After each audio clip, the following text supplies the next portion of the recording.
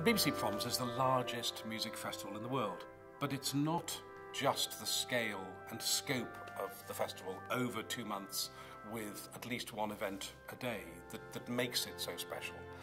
It's that the very values of the proms now are exactly the same as they were in 1895, which is bringing the best quality classical music to the largest possible audience.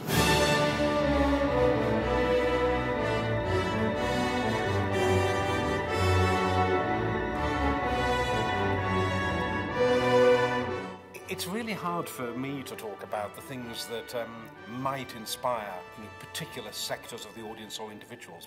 And that's because there's something in the proms for everybody. The sort of things that I'm sure will attract you know, lots of attention are you know, the big international orchestras, the return of the Simon Bolivar Orchestra with Gustavo Dudamel, who made such a, a sensational proms debut in 2007.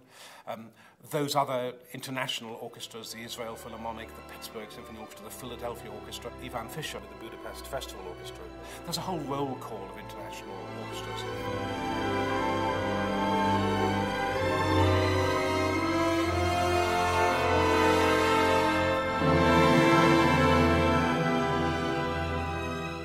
as there is a roll call of international artists. So the superstar classical soloists, um, whether it be the pianist Martha Argerich, whether it be violinists such as Nigel Kennedy coming back to play solo Bach in the late night for the first time, or Anne-Sophie Mutter. I mean, the, the list goes on and on and on.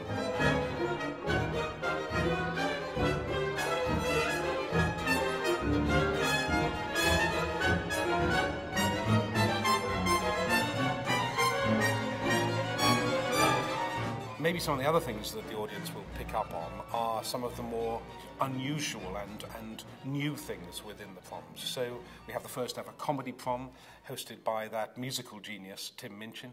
Um, we have a Horrible Histories prom, which is a, our first ever free children's prom. And we have a Human Planet prom.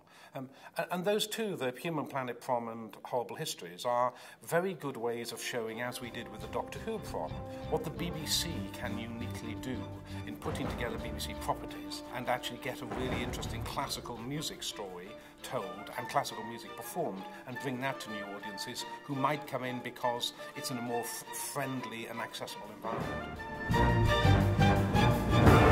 list is perhaps the most significant anniversary that we're celebrating this year. And maybe his music is not well enough known. There are some pieces, of course, which are, which are very popular. But there are other pieces, the big Faust Symphony and the Dante Symphony, are very, very striking pieces of romantic orchestral and choral music. And th th those, I think, are going to be central planks of our celebration of Liszt.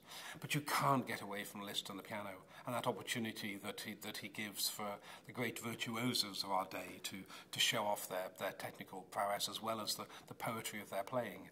The youngest ever soloist um, to appear on the opening night, Benjamin Grosvenor, will be playing Liszt's second piano concerto. And then we welcome one of the perhaps the best known classical musician of our day, um, the extraordinary Chinese pianist Lang Lang.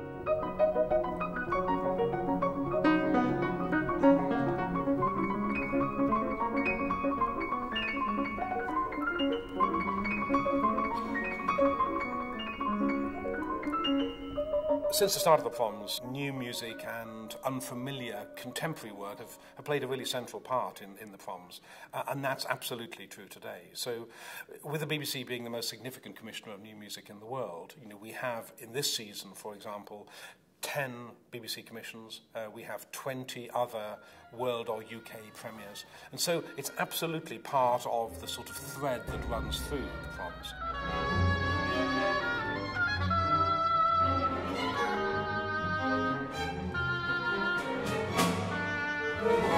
I think there'll always be highlights for, for certain members of the audience, and, and they will be special moments that they will have. And, and that's because of that feeling that, that there is something for everybody at the proms. And things like the John Wilson Orchestra, for example, is, is going to be something that is another eagerly awaited prom appearance.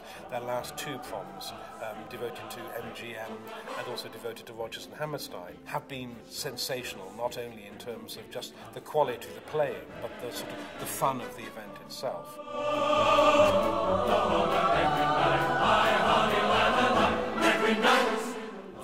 Festivals to start with a, with a bang. and uh, I think our opening weekend does just that. So we've got the big choral and orchestral concert on the opening night with the Janacek's Glagolitic Mass, as well as the beginnings of our Liszt celebration.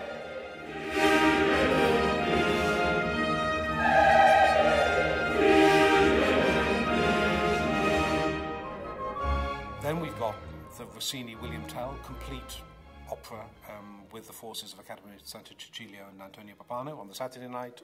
Then the largest scale piece ever written, this largest scale symphony by Havergal Brian, the Gothic Symphony. And then on Monday, the celebrations just carry on because Martha Argerich arrives. That's just the first four days, but it's a big, big statement about the range and ambition of the proms. I'm sure that somebody will find within that two months something that they're just going to not only enjoy but take their breath away. If you just want to pay five pounds, you can come, can queue on the day, and you can stand and hear some of the greatest music you'll ever hear by some of the greatest performers. Those are the things that make the prom special.